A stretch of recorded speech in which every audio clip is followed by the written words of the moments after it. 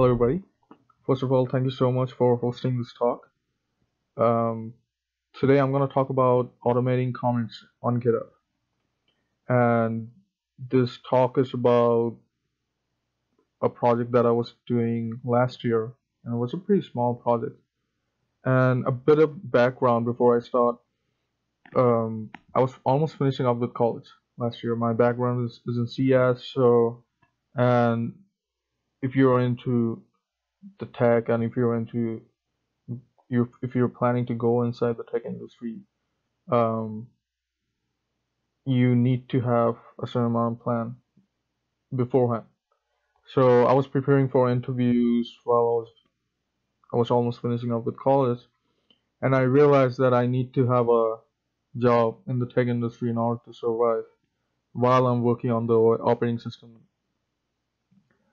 so, and it takes a, a lot of time to prepare for technical interviews, especially if it's if it has a lot of uh, coding challenges. So, and I also realized based on my interaction with other people who are in the tech industry is that a lot of technical recruiters look at your profile, GitHub profile, um, before actually interviewing.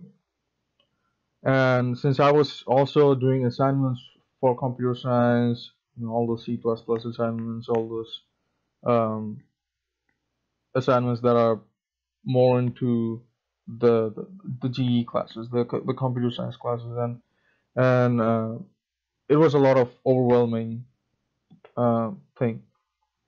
So I realized that I need to make a script or something that will help me to commit to GitHub while I'm sleeping. And this was a fun little project that I thought would be a nice learning process at the same time. Um, I didn't have any idea of Silk so but I knew Python. So I was like, okay, even even though Python was something that I uh, didn't work that much with, I was more into C++ and C. Um, but I thought it was it would be a nice project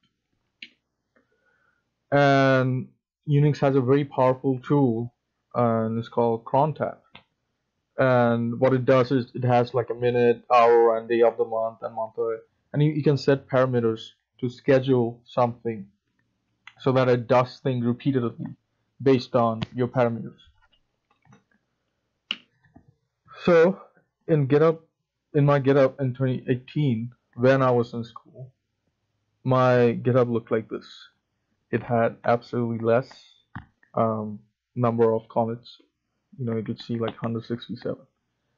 And after using the script, my commit was like this. I call it the Keep It Green script, and this was in 2019. You can see from January to September, it was all about that. And in fact, I received nice reviews from recruiters and technical recruiters and interviewers after I told them about this project, and they were pretty interested. Like, in fact, I was actually kind of hesitant uh, to talk about it because you know it's it's it's a certain amount of you're actually uh, fooling a lot of people using the script because even though you're not committing all the time, you're actually um, somehow doing something that is not okay, not always so you know it was also randomized. And what i did with that was like you know it's, it's not always um using the script to to do that. Like the script so the way the script work is works is, is that um, every night every midnight it would open up. It would go inside a private repository that I've already created on GitHub and it will delete a already created file and then create that same file again. That's two commits every midnight. So it was two commits but then I was also doing my personal projects. I was also you know putting things up and things that I care about even if I'm doing like you know basic uh, programming challenges or something.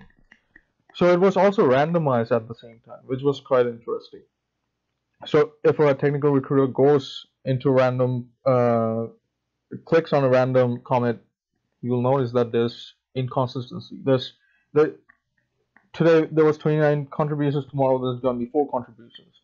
So it was it was like that. Um, regarding the GitHub's policy, of course, it meets all the all the terms and services and acceptable use policies. Uh, since you're using your own account, and I was wanted to make sure that it doesn't violate any any policies that GitHub because of course you don't want to uh, mess around with them. The project is now available at github.com in my uh, in my repository is called keeping it green.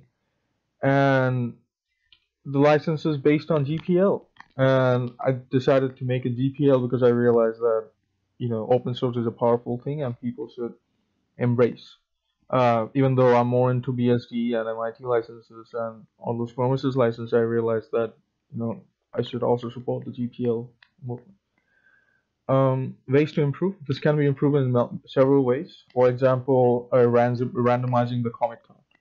Um, you know, it's just a very simple basic script that uses Selenium to automate the Chrome uh, stuff, but someone can use Firefox at the same time, just depending on the uh, requirements of the person. And check for local directories, and that that can be done using like okay, okay, if I already have some commit already, and if I already have some files, it will first check that and then upload it. If it doesn't find anything, then it will just do that dummy commit. Follow certain style style guides. So you know, just making sure whether it has, uh, like I personally like Google guide. So it should make sure that if, if it sees something in the local directory, it will also follow or also do like those kind of style guide stuff. Uh, scheduling only on weekends. So, you know, on weekdays I could just commit by myself and then on the weekends it will just see like four commits. Um, but yeah, it depends. Thank you so much. I've provided my LinkedIn and my website and also the GitHub.